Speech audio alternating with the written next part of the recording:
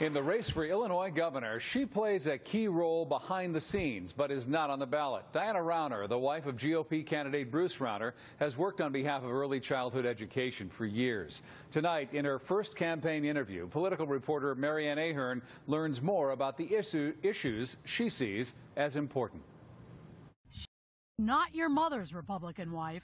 I've been a feminist my whole life, and I think it's just a very simple statement of the fact that women are not a special category. Half the electorate, we're just people. Diana Rauner, educated at Stanford, Yale, and the University of Chicago, is president of the Ounce of Prevention, zeroing in on children before the age of five. She's applauded Governor Pat Quinn's budgets before, of course, not now. She's also voted twice for President Barack Obama. I'm very happy with how the early childhood agenda in the Obama administration has been going.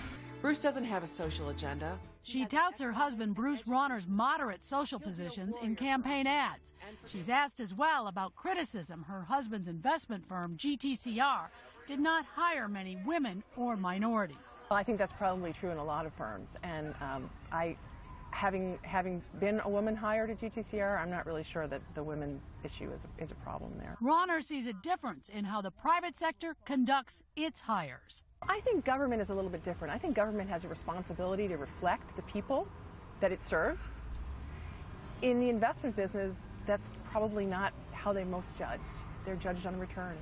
This is Diana Rauner's first interview. He mentions her often on the campaign trail, but should he win, she says she will play no official role in his administration. I will continue to do my work. Until November 4th, Diana Rauner's focusing her work on the campaign trail.